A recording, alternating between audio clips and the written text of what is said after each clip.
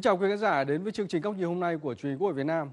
Thưa quý khán giả, điện là loại hàng hóa sản xuất và sử dụng diễn ra đồng thời. Nếu lượng điện sản xuất ra không được tiêu thụ ngay thì điện cũng sẽ lập tức tiêu tán. Cho đến nay thì vẫn chưa có một phương pháp lưu trữ điện nào thực sự hiệu quả. Vì vậy, khái niệm để dành hay là dự trữ điện dường như là bất khả thi. Thế nhưng nếu dùng điện thật tiết kiệm, việc dự trữ điện lại trở nên khả thi thông qua dự trữ nguyên nhiên liệu dành cho sản xuất điện. Nếu ngay từ bây giờ hoạt động sử dụng điện được tiến hành thật tiết kiệm thì thủy điện sẽ không phải sử dụng đến lượng nước dự trữ, nhiệt điện sẽ không phải chạy quá tải, nhiệt điện dầu sẽ chưa phải huy động tối đa và lưới điện an toàn trong tầm kiểm soát. Khi đó bước vào cao điểm nắng nóng cuối tháng 5 đầu tháng 6 thì sẽ không lo thiếu điện như hè 2023 hay nói cách khác, sử dụng điện tiết kiệm ngay từ bây giờ chính là để dành cho những ngày cao điểm.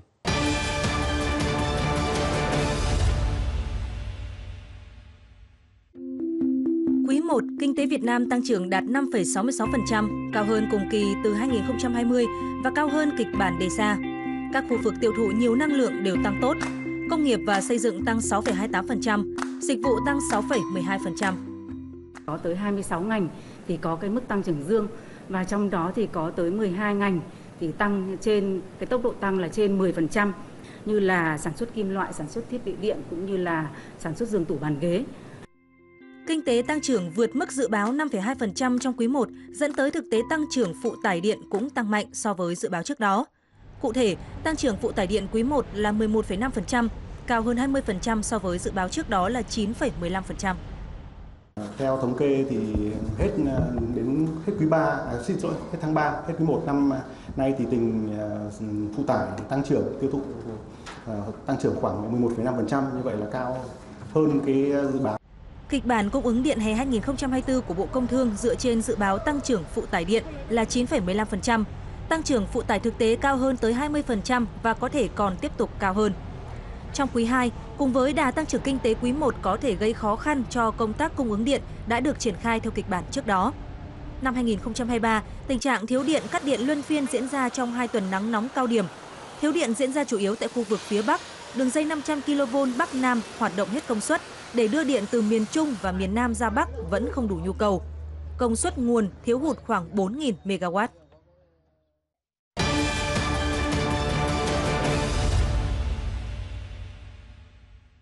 Trên thực tế thì tăng trưởng phụ tải điện quý 1 cao hơn khá nhiều so với dự báo. Điều này đòi hỏi các cơ quan quản lý và ngành điện sẽ phải khẩn trương thích ứng với tình hình mới.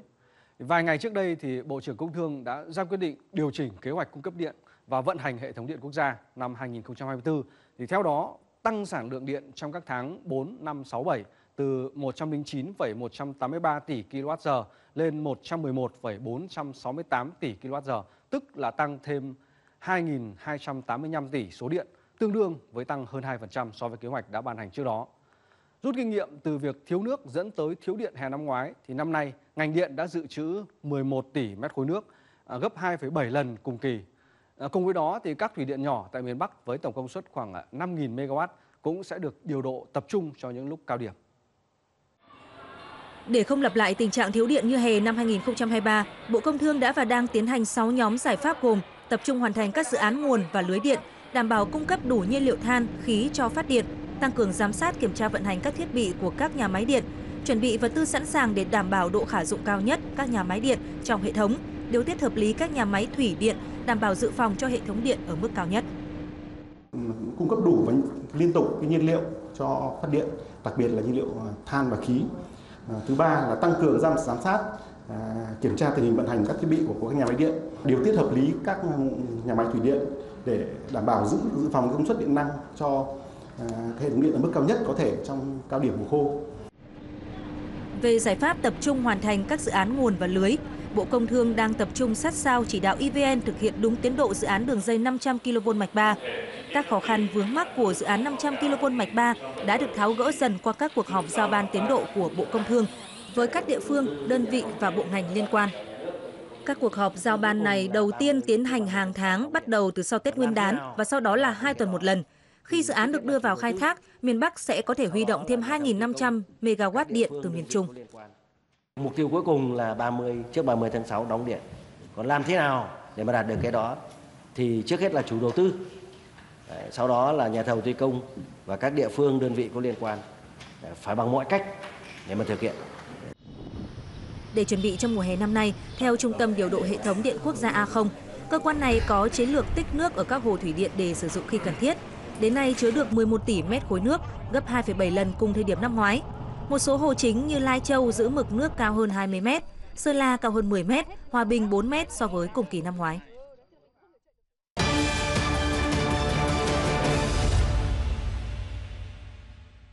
Tăng trưởng phụ tải điện hay là nhu cầu sử dụng điện ở một góc độ nào đó là thể hiện sự phát triển của kinh tế và đời sống xã hội.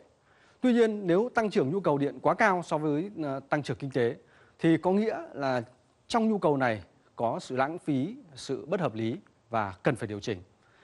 Để đảm bảo cấp điện không chỉ cần tăng cường sản xuất điện mà còn cần điều chỉnh cả hoạt động sử dụng điện thật hiệu quả và tiết kiệm. Sau đây là ý kiến của tiến sĩ Nguyễn Thành Sơn, chuyên gia tư vấn độc lập về năng lượng đối với hoạt động sử dụng điện. Tăng trưởng về tiêu dùng điện là tăng hơn 20%, tức là đạt trên 11% so với cái kế hoạch là 9,6%. Trong khi cái tăng trưởng của GDP trong quý 1 nếu mà theo như Bộ Kế hoạch Đầu tư công bố là 5,66%. Thì về mặt kỹ thuật ấy, thì chúng ta sẽ thấy là cái hệ số đàn hồi về điện người ta dùng trong quy hoạch và dùng trong cái cân bằng năng lượng của các quốc gia. Tức là để tăng trưởng 1% GDP thì đòi hỏi phải tăng bao nhiêu phần trăm cung ứng điện.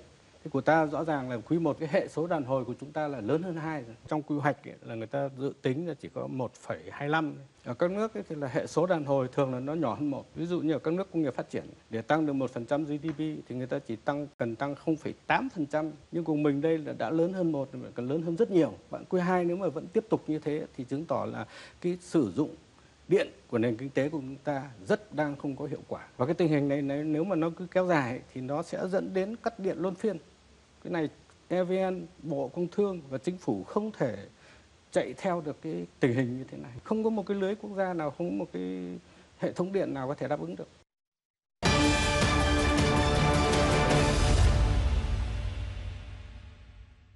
Thưa quý khán giả, miền Nam nắng nóng kéo dài, miền Bắc, miền Trung thì đang bước vào những ngày oi ả. Nhu cầu sử dụng điện đang bắt đầu tăng cao trên cả nước. Nỗi ám ảnh của doanh nghiệp và người dân về những ngày cắt điện luân phiên mùa hè trước vẫn còn đâu đó. Vì vậy, thời điểm này, vấn đề được quan tâm nhiều nhất là hè này có thiếu điện. Thực hiện chỉ đạo của Thủ tướng không để thiếu điện năm 2024, Bộ Công Thương đã trực tiếp giám sát và tham gia vào việc điều hành cung ứng điện cùng với Tập đoàn Điện lực Việt Nam EVN.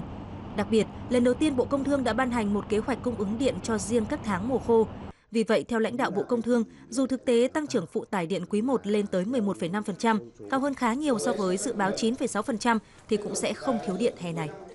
Đúng là cái tỷ lệ là nó tăng, nó là theo như thống số số thì là 11,5% so với dự báo hiện nay là chúng ta mới tăng 9,6 nên đấy là một cái điểm mà chúng tôi phải họp ngay cùng với cả EVN cũng như là các tập đoàn của công ty và các cơ quan về điều điều độ điều hành điện để triển khai các cái giải pháp đồng thời. Và chúng tôi tin tưởng chúng tôi tin tưởng có có đủ cơ sở để tin tưởng rằng là trong năm 2024 này sẽ không lặp lại cái tình trạng như năm ngoái và không chỉ năm 2024 mà sẽ phấn đấu là những năm tiếp theo.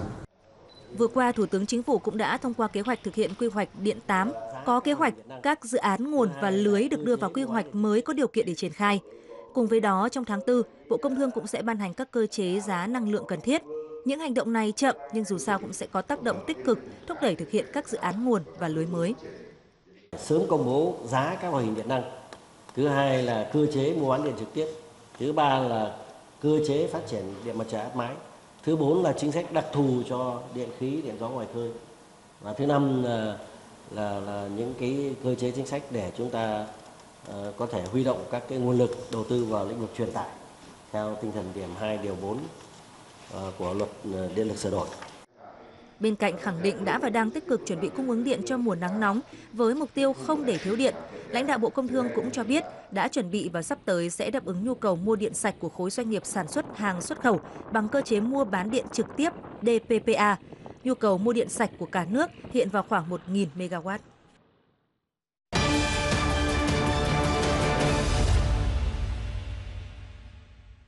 Chưa phải là khẳng định tuyệt đối, nhưng qua tinh thần và niềm tin thì lãnh đạo Bộ Công Thương nhận định hè này không lo thiếu điện.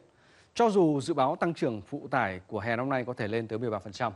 Đó là từ góc độ quản lý. Còn từ góc độ của các nhà nghiên cứu chuyên gia thì sao? Sau đây là nhận định của tiến sĩ Nguyễn Thành Sơn về khả năng thiếu điện của hè này. Với cái tình hình như quý 1 vừa rồi thì tin tin là hè năm nay cũng sẽ diễn ra một cách bình thường. Hy vọng là sẽ chỉ có cắt điện cục bộ thôi. Mà cắt điện cục bộ thì lưới điện nào cũng thế, hệ thống điện quốc gia nào cũng xảy ra thôi. Hy vọng là nó sẽ không có cắt điện luân phiên.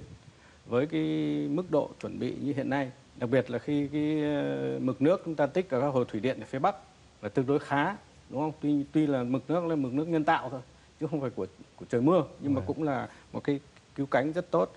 Rồi cái đường dây 500 mạch 3 vào nữa thì tôi tin là quý 2 rồi kể cả đến quý 3 của chúng ta nói chung tình hình cung ứng điện là có thể đảm bảo được. Những năm tiếp theo với cái hệ số gọi là đàn hồi về điện như thế này thì không thể không lo được. Chính phủ, Bộ Công Thương hay EVN không thể chạy mãi theo cái cái việc sử dụng điện kém hiệu quả hiện nay của doanh nghiệp được. Chúng ta phải nâng cao hiệu quả sử dụng điện này bằng mọi cách. Chúng ta đã có những cái ví dụ như kiểm toán về năng lượng, cái cũng rất tốt. Anh nào sử dụng lãng phí là chúng ta biết rồi. Bây giờ phải căn cứ vào đấy và có giải pháp yêu cầu phải nâng cao cái hiệu quả sử dụng điện này. Nâng cao hiệu quả sử dụng điện trước. Đảm bảo cân bằng năng lượng hiện nay là thuộc về phía cầu chứ không phải thuộc về phía cung. Để cân bằng cái cung cầu này thì không có một cái quy hoạch nào có thể đáp ứng được với cái tình trạng cái hệ số đàn hồi về điện của nền kinh tế như hiện nay là không thể có cách nào được.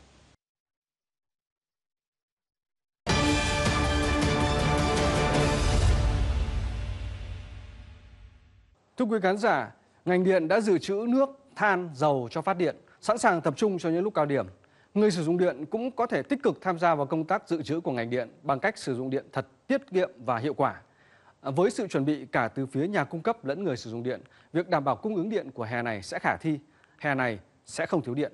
Và đến đây thì chương trình của chúng tôi xin được kết thúc. Xin cảm ơn quý khán giả đã quan tâm theo dõi. Xin kính chào tạm biệt và hẹn gặp lại.